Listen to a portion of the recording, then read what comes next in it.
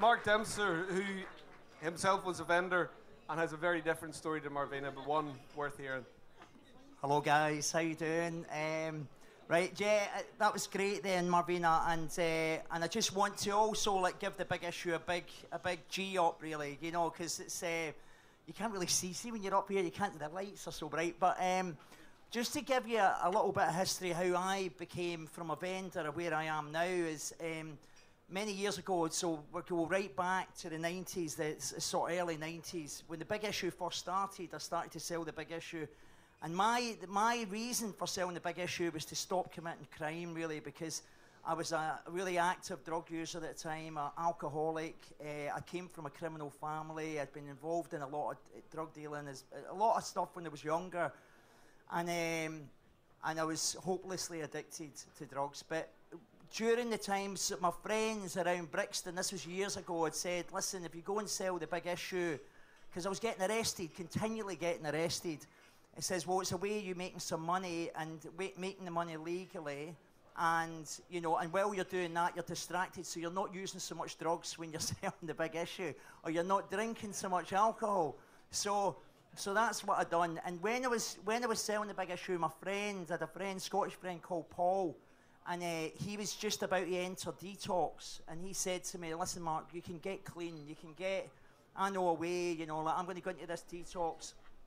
And uh, so he went in, and then I, I, I never seen him for, for maybe about six months or so, and then the next time I seen him, he was clean, a completely revamped man. Do you know what I mean? Like when you take away the drugs, you take away the chemical addiction, he was a, a completely different character. And because he wasn't obviously imprisoned and snared by his addiction. So, uh, so when I seen him, but in between that time, the guys at the big issue office, which was then back down in Victoria, were saying to me, you know, you should try it too, because they could see he was in a bad way.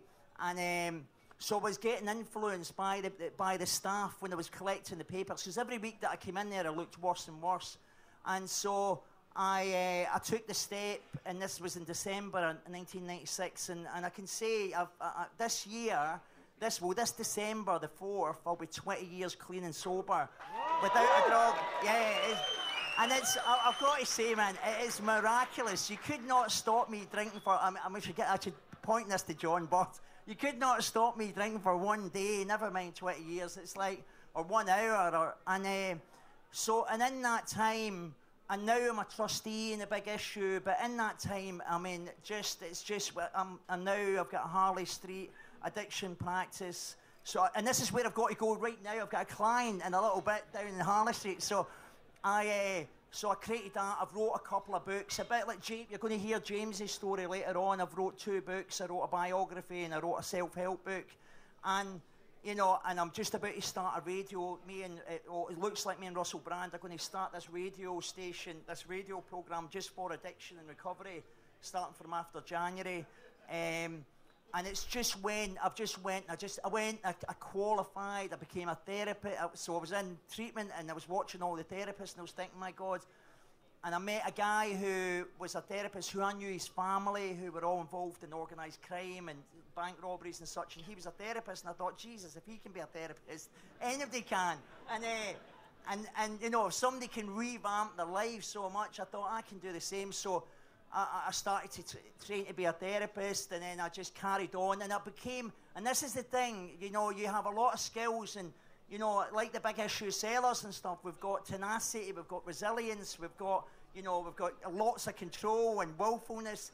And if you put all that and you channel the negative aspects of the addiction, because once you, you know, I'm always, I've always got an addictive personality. So if you can harness it and channel it in the right way, you can do amazing things in your life. So I went and I just, I just got qualification after qualification, and uh, and it's just, it's just went from strength to strength. But so I want to just say to the big issue, thank you, John Bird, thank you everyone that's helped, that's been on that journey, and uh, have a great night, guys.